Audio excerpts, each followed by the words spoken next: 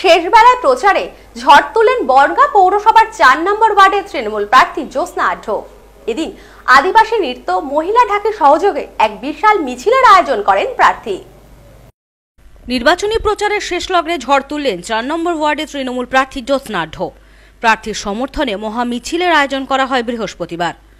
গোটা চার নম্বর ওয়ার্ড প্রদক্ষিণ করে মিছিল। মিছিলে নজর কাড়েন মহিলা ঢাকি দল। পাশাপাশি এদিনের মিছিলে ধামসা মাদলের তালে আদিবাসী নৃত্যের ছন্দে এগিয়ে চলে মিছিল। মিছিলে অংশ নিয়েছিলেন স্থানীয় চার নম্বর ওয়ার্ডের বহু মানুষ। সাদা পাজামা পাঞ্জাবি, দলীয় পতাকা নিয়ে পুরুষদের পাশাপাশি দলীয় সিম্বল আঁকার শাড়ি পরিহিত মহিলারা অংশ নেন ওই মিছিলে। ট বাজার পার করার পর মিছিল পৌরসভার দিকে এগোতে শুরু করে। মিছিলের জেরে কার্যত অবরুদ্ধ হয়ে পড়ে শহরের রাস্তা। মিছিলের সম্মুখে প্রার্থী জ্যোৎস্না আঢ্য আশীর্বাদ চেয়ে নেন স্থানীয়দের।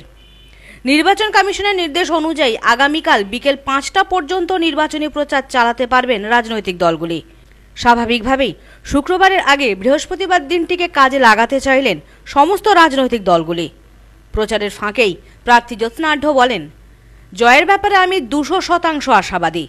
নির্বাচনে জয়লাভ করলে এলাকার নিকাশি ব্যবস্থার পাশাপাশি রাস্তাঘাটের উন্নয়ন ও বাড়ি বাড়ি বিশুদ্ধ পানীয় জল পৌঁছে দেওয়াই হবে তার প্রথম লক্ষ্য।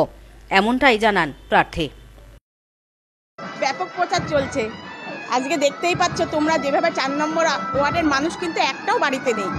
প্রত্যেকটা মানুষ কিন্তু আজকে মিছিলে, মহামিছিলে পা মিলিয়েছে।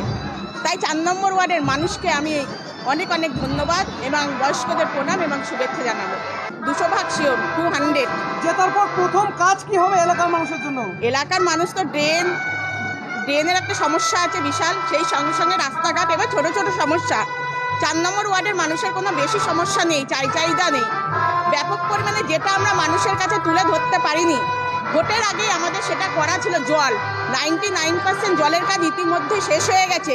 এক পার্সেন্ট কাজের জন্য আমরা মানুষের পাশে পৌঁছাতে পারিনি, মিষ্টি ঠান্ডা পানীয় জল।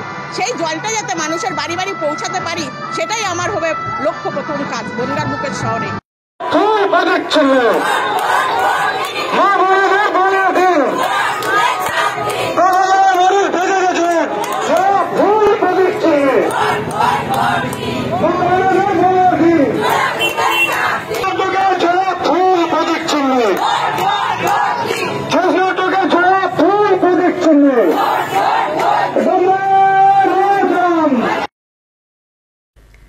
সব্যসাচী ভট্টাচার্যের রিপোর্ট নিউজ রোম্যান্সল্যান্ড বনগা।